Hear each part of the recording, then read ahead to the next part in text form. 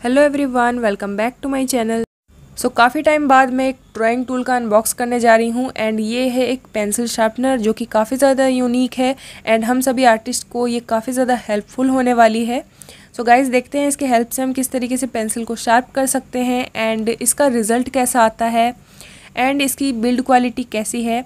तो ये सारी चीज़ें अगर आपको जाननी है तो वीडियो पे बने रहना गाइज़ एंड चैनल पे नए हो तो सब्सक्राइब ज़रूर कर लेना, एंड बेल आइकन को ज़रूर प्रेस कर लेना फॉर नोटिफिकेशंस एंड इस प्रोडक्ट का परचेस लिंक आपको वीडियो के नीचे डिस्क्रिप्शन बॉक्स में मिल जाएगा। सो आप जाकर वहाँ से डायरेक्टली इसे बाय कर सकते हैं। सो चलिए गाइज़ इसको हम फटाफट से अनबॉक्स कर लेते हैं। इसे मैंने परचेज़ किया था अमेज़ोन से एंड इसकी पैकेजिंग काफ़ी अच्छी आई थी। एंड ये आप देख सकते हैं प्लास्टिक की जो पैकेजिंग है ये भी काफ़ी बढ़िया है जो कि इस प्रोडक्ट के साथ ही आपको मिल जाती है। एंड गाइज़ इसका मैंने जो प्राइस है वो यहाँ पे मेंशन कर दिया है।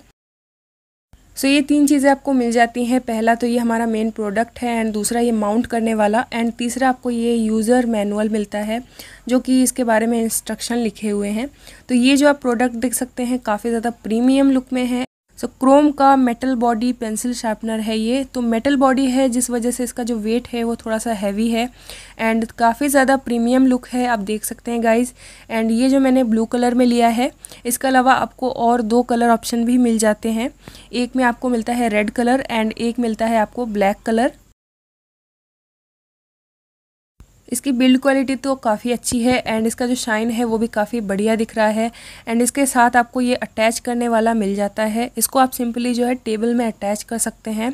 आपको बस सिंपली इसको टेबल में लगाना है एंड इसके नीचे जो नट बोल्ट टाइप का सिस्टम है, उससे आप जो है अटैच कर सकते हैं अपने टेबल में इसको काफ़ी ईजीली एंड यहाँ पे आपको ये यूज़र मैनुअल मिल जाता है। तो इसके बारे में काफ़ी कुछ लिखा हुआ है, यानी कि इसकी बिल्ड क्वालिटी कैसी है या फिर आपको इसका यूज़ कैसे करना है। एंड इसको रीड करके आप इसका यूज़ करना आसानी से सीख भी सकते हैं। तो इसको हम साइड में करते हैं एंड अब देखते हैं कि इसका यूज़ हम किस तरीके से कर पाते हैं एंड इसका रिज़ल्ट कैसा आता है। एंड यूनिक शार्पनर तो ये लुक से लग ही रहा है बट इसका यूज़ करके हम देखते हैं क्या ये वर्थ बाइंग है या फिर हम आर्टिस्ट के लिए क्या ये अच्छा है बिल्कुल ही, या फिर इसका प्राइस के अकॉर्डिंग काम कैसा होता है। तो ये सारी चीज़ें हम देखते हैं गाइज़ यहाँ पे आपको इस तरीके का स्विच जैसा मिल जाता है तो स्विच को इस तरीके से आपको प्रेस करना है एंड इसको सिंपली आगे की तरफ़ लेकर आना है एंड यहाँ पे हमें इस पेंसिल को डालना है, देन हमें इसको शार्प करना है। तो देखते हैं हम पेंसिल को शार्प करके तो यहाँ पे मैंने लिया है आर्ट लाइन का टेन बी पेंसिल जो कि है ग्रेफाइट पेंसिल तो ग्रेफाइट पेंसिल को मैं यहाँ पे शार्प करके देखने वाली हूँ, कैसे वर्क करता है. तो यहाँ पे आपको ये पेंसिल को डालना है, जिसके पहले आपको ये जो बटन लगा है ऊपर तो उसको प्रेस करना है. एंड देन इसमें हम ये जो होल देख रहे हैं आप, ये होल अच्छे से खुल जाएगा जब आप बटन को प्रेस करेंगे.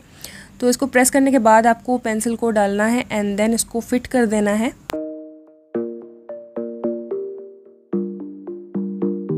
एक्चुअली में इसको आपको टेबल में सेट करने के बाद ही शार्प करना होता है, जिससे कि ये जो है हिलता नहीं है। बट यहाँ पर मैं आपको शो करने के लिए ऐसे ही आपको बता रही हूँ पहले। तो यहाँ पे आपको जो है सिंपल सा एक हैंडल मिल जाता है। सिंपल तो नहीं, काफ़ी यूनिक सा ही है। तो आप इस हैंडल को इस तरीके से रोल रोल करके, यानी कि राउंड राउंड करके आप इस तरीके से घुमाएँगे तो आपका जो पेंसिल है वो धीरे धीरे शार्प होने लगेगा। तो जैसे जैसे आप इसको शार्प करते जाएँगे तो वैसे वैसे ना ये थोड़ा सा लूज़ होता जाएगा जो हैंडल है, क्योंकि ये हैंडल में आपने जब पेंसिल को डाला है तो ये थोड़ा सा टाइट है बट जब ये पूरी तरह से शार्प हो जाता है तो ये थोड़ा सा लूज़ हो जाता है। तो जैसे लूज़ हो जाएगा, आपको पेंसिल को सिंपली इस तरीके से निकाल लेना है एंड आप देख सकते हैं इसका रिज़ल्ट कितने अच्छे से ये शार्प हुआ है एंड आप देख सकते हैं इसका जो टिप है, वो भी कितना बढ़िया से बिल्कुल ही फाइन टिप बना है इसका। तो अगर आप नॉर्मल शार्पनर से शार्प करते हैं तो कुछ इस तरीके का रिज़ल्ट आता है। मेटल बॉडी का जो शार्पनर है, वो काफ़ी अच्छा रिज़ल्ट देता है एंड काफ़ी क्विकली भी रिज़ल्ट देता है। एंड इससे लेड ब्रेकेज भी नहीं होती है, ये इसकी खास बात है। तो गाइज़ अब देख लेते हैं सारे ही पेंसिल को शार्प करके कि क्या ये हर तरीके के पेंसिल में वर्क करता है। तो यहाँ पर मैंने एक बहुत ही सिंपल सी पेंसिल ली है डोम्स का, यहाँ पे मैंने ग्रेफाइट पेंसिल लिया है। एंड इसको मैं शार्प कर रही हूँ।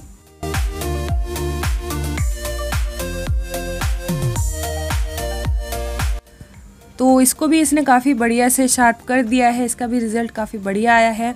अब मैं यहाँ पे एक कलर पेंसिल को शार्प करके देखती हूँ कि क्या इसमें अच्छे से वर्क करता है, क्या ये अच्छे से शार्प कर पाता है।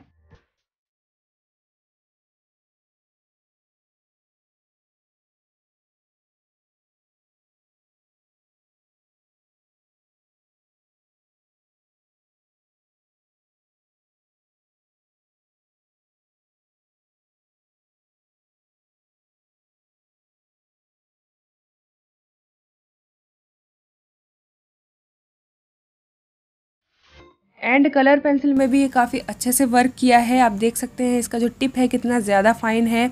एंड शार्प करने के बाद जो वेस्ट मटेरियल है, जो भी यहाँ पे शार्पनर के बाद जो मटेरियल हमारे निकलते हैं, लकड़ी वाले, वो कहाँ जाते हैं? तो वो इस बॉक्स में इकट्ठा होते हैं। आप देख सकते हैं कितना बढ़िया से एंड कितने अच्छे तरीके से यूनिक टाइप में। इसको आप सिंपली निकाल सकते हैं ऐसे एंड सिंपली आप इसको वापस से इसमें अटैच कर सकते हैं। एंड गाइज़ अब हम देखते हैं चारकोल पेंसिल को शार्प करके। यहाँ पे मैंने लिया है कैमलिन का सॉफ्ट चारकोल पेंसिल जो कि आप सभी को पता है गाइज़ आप सभी आर्टिस्ट को पता है कि ये कितनी जल्दी टूट जाती है, इसकी जो लेड होती है एंड कोई भी शार्पनर से इसको शार्प कर लो, बहुत ही ज़्यादा टाइम भी लगता है। तो देखते हैं इसमें ये कैसे वर्क करता है।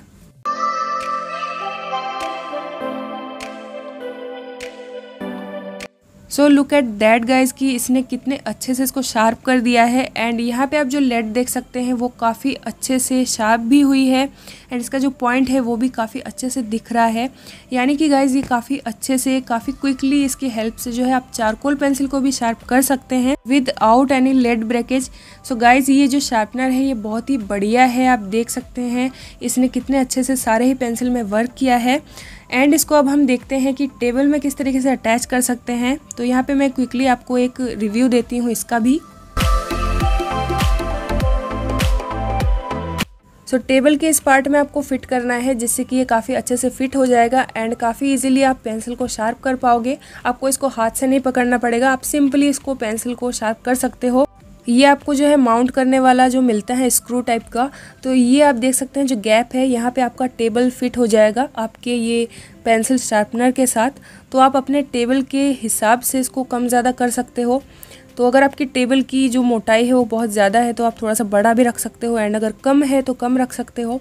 एंड यहाँ पे आपको एक छोटा सा होल मिलता है। सो so, आपको इस होल में इसको कनेक्ट करना है एंड सिंपली आपको टेबल के साथ इसको अटैच कर देना है।